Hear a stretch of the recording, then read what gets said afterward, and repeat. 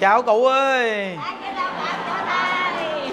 Chúng ta niệm phật nè nam mô a di đà phật nam mô a di đà phật nam mô a di đà phật nam mô a di đà phật nam mô a di đà phật chúc cụ sức khỏe cụ ơi. Nay à, nay những đức qua thăm với cụ với à, quay phim nghe. Rồi nữa mấy cô à, làm phim xong bật cái cụ coi nghe. Cụ đây vui nhiều với cụ vui nhiều không? Cụ nào muốn giảng sanh cực lạc đưa tay anh coi. Ừ. à. à. Quý vị biết rằng là trong chùa mình quý vị những đức à, thống kê cái à, lượng người già mà lớn tuổi á, nhiều.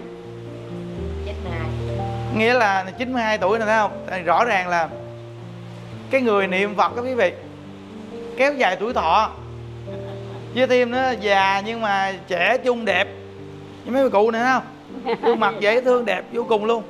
Vui nữa chùa mình thì rất nhiều người già quý vị nhưng mà đây là cái khu yếu của đại tùng lâm nghe ai chưa đâu bấm đây là khu yếu đại tùng lâm thì mỗi điểm chùa như đạo tràng ba thì có cái khu yếu của các cụ.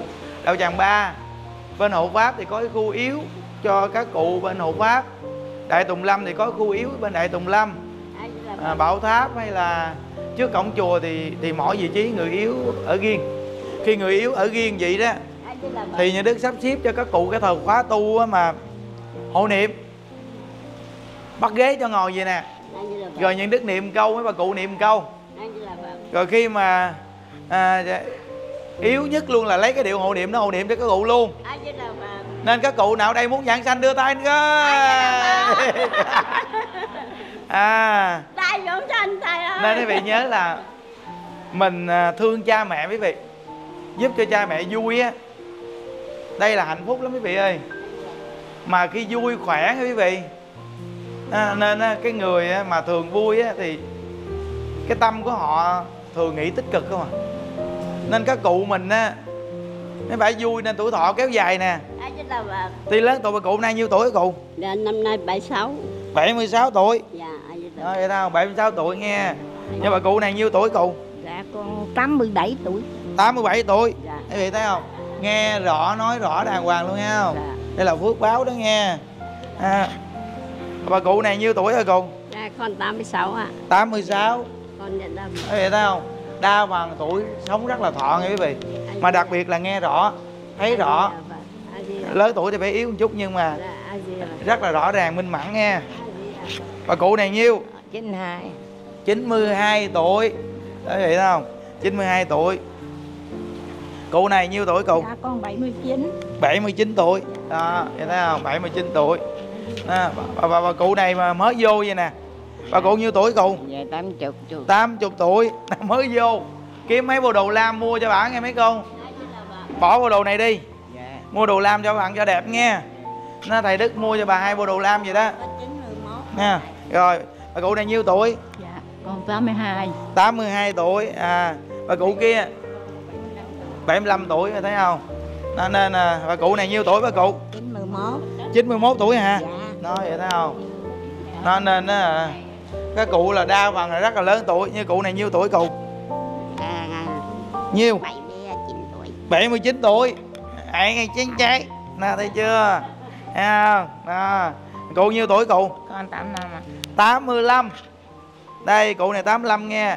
Dạ. Để à, những đức đi hỏi cụ tuổi để thống kê quý vị thấy cái người niệm phật tuổi thọ kéo dài. Nên nhiều người chúng ta thật sự mà mình cũng muốn sống thọ quý vị. Thì niệm phật những đức thấy rõ ràng niệm phật tuổi thọ kéo dài nghe. Vì, vì vui nè vì nghĩ thiện nè nên tuổi thọ kéo dài cũng nhiêu tuổi cùng. 86 66 tuổi. 86 86 tuổi. À nè 86 tuổi nghe.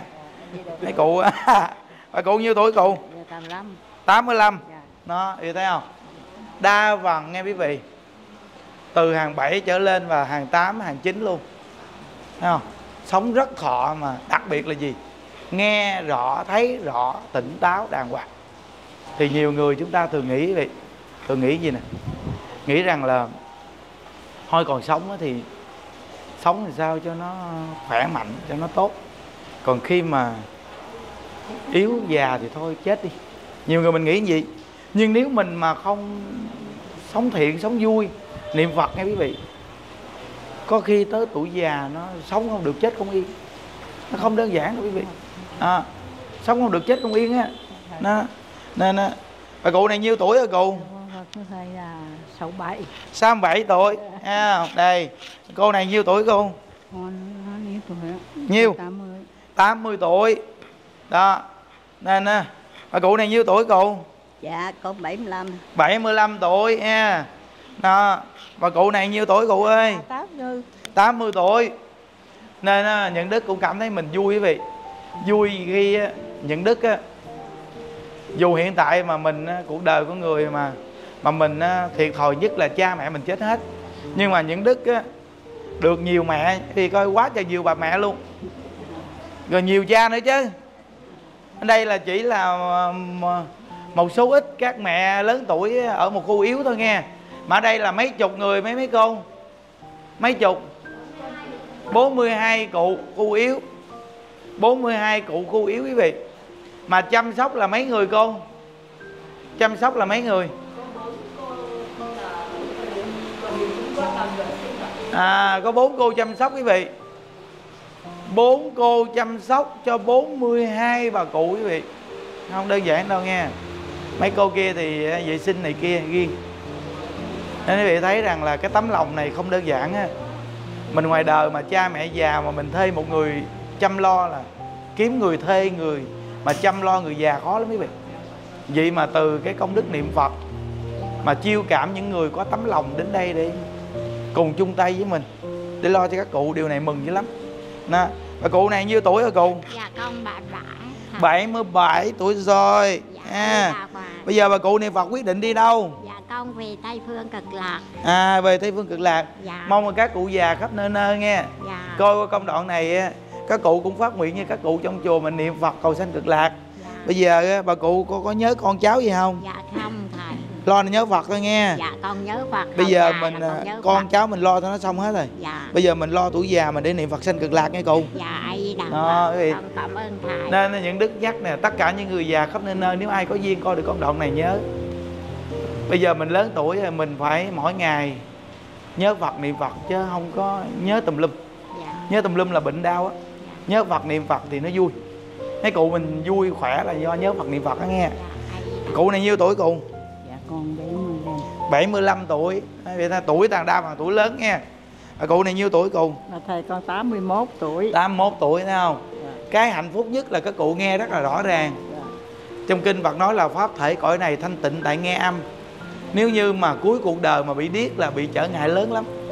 Vì người ta niệm Phật hộ niệm cho mình mình không có nghe. Nên nó bị trở ngại rất lớn. Nên mấy cụ ở đây á, đều nghe rõ trơn giờ các cụ quyết tâm giảng sanh nghe cụ ơi. Ờ quyết tâm giảng sanh.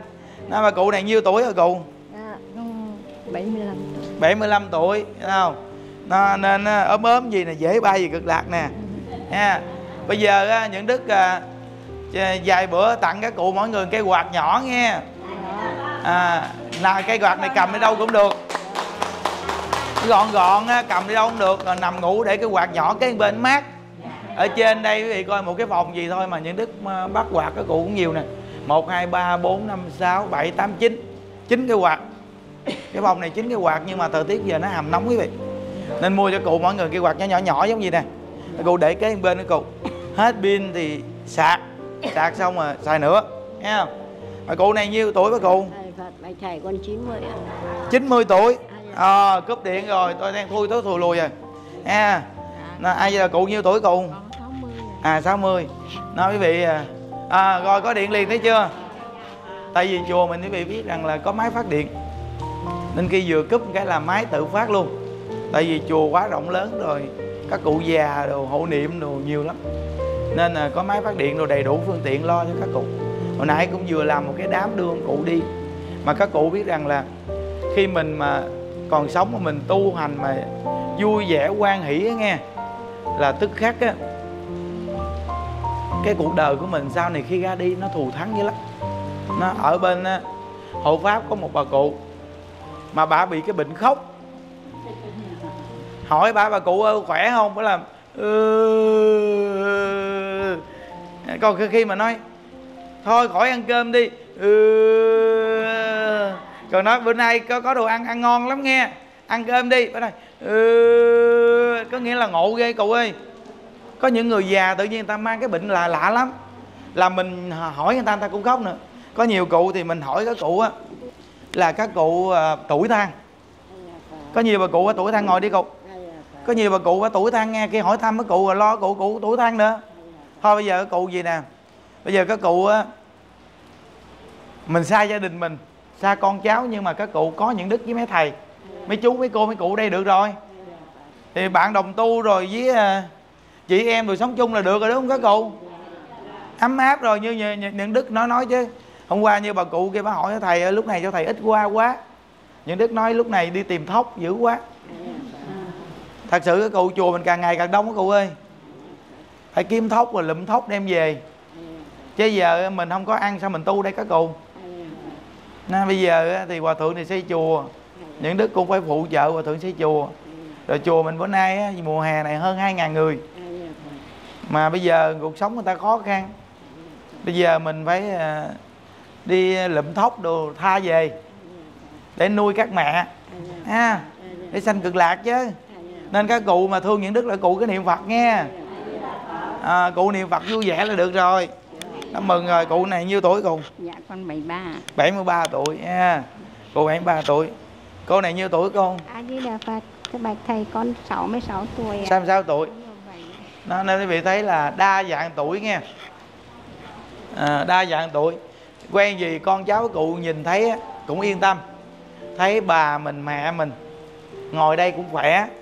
Các cụ mà vui cái cụ niệm phật là con cháu của cụ có phước à. Nghe cụ này nhiêu tuổi cụ? Lớp 10 sao khóc vậy chàng? Hả? Sao khóc vậy? Gì đâu khóc. Ở đây à, à, có ai ăn hiếp không? Mình sao khóc? Không ăn hiếp sao khóc? Tuổi thân hả?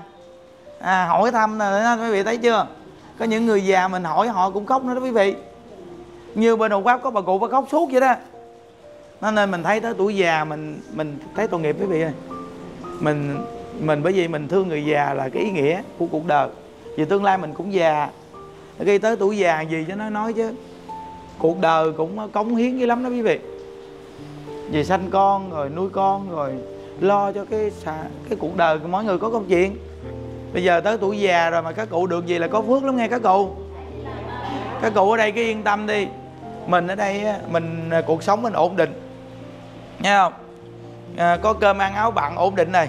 Đà Phật nên các cụ cứ à, yên tâm mà mà sống đây mình tu hành. Di các cụ cứ lo niệm phật đi yên tâm. Dạ chùa mình lo đầy đủ hết trơn rồi. Thường là tuổi già mình thường lo quý vị. Lo là già rồi không biết ai lo cho mình đây nhưng mà các cụ đây yên tâm nghe. Dạ. Những đức cũng còn khỏe mới 43 tuổi à. Dạ nên những đức khỏe lắm. Nên những đức lo cho các cụ tới các cụ giảng sanh hết những đức cũng chưa chết nữa. Cụ yên tâm đúng không? Dạ à, thầy đức sư phụ với thầy sống tới thọ tưởng thêm một trăm năm mươi tuổi. Ờ, để nuôi người già ha. Nên á, mong mà mấy bà cụ á. Bà sống vui quý vị. Mình cảm thấy ấm áp quý vị ơi cuộc đời mình thấy tự nhiên mình đi gặp Phật pháp mình biết tu mình thấy ý nghĩa vô cùng. Tự nhiên à, mình à, lo cho bao nhiêu bà mẹ bao nhiêu ông cha. Rồi nếu mà nói về con con nhỏ cũng có nhiều nữa. Tự nhiên mình thấy hạnh phúc vô cùng. Các cụ đây thấy vui không các cụ? Lắm cụ nào ở đây vui đưa tay coi. Ừ. Rồi. Đó. dữ lắm nên ăn chay niệm phật mà mình vui á cụ. Đà Phật nó nên những đức nói rằng là các cụ mình tuổi thọ kéo dài là vui nên bà cụ hứa chiết có nói vậy nè. Bà sống thọ là nhờ bà thường ha ha. Còn ai mà thường hu hu là chết queo. Đừng có khóc nghe các cụ. Vui mới sống thọ nghe. À, con hồi hai năm hai nghìn mười bảy con phát hiện con muốn gặp thầy mà gặp nhiều con khóc dữ lắm tới giờ cũng hết khóc lắm. à giờ gặp rồi thấy không? Nó nên á những đức mong mà những đức chỉ cầu mình có sức khỏe rồi mình làm cực cỡ nào mình cũng không có từ nan. Chỉ cần có sức khỏe để mong lo các cụ thôi. Miệng lo cho các cụ được là thấy mừng. Hướng dẫn phật tử tu là mừng rồi. Cái đó là niềm vui lớn nhất. Bây giờ nên những đức á, không có đi đâu các cụ ơi. Không có chỗ nào mà mình nói là mình đi chơi. Tại vì ở đây là chơi vui nhất à. Gần các cụ là chơi vui nhất. Chạy qua đạo tràng ba thì gặp các cụ thì các cụ cũng mừng, phải vui.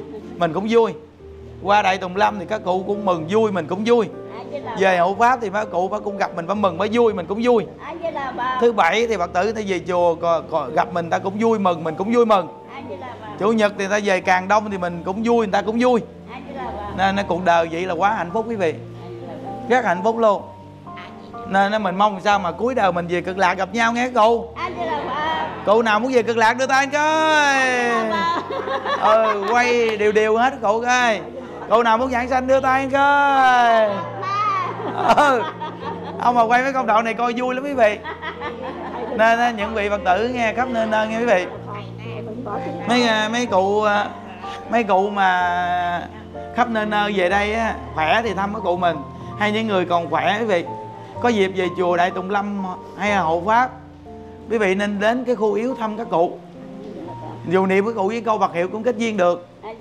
Thật sự mà nói á mình dù có điều kiện giàu sang gì đi du lịch đầu này đầu kia quý vị rảnh đi, đi đến nơi mà lo cho người già gì nè.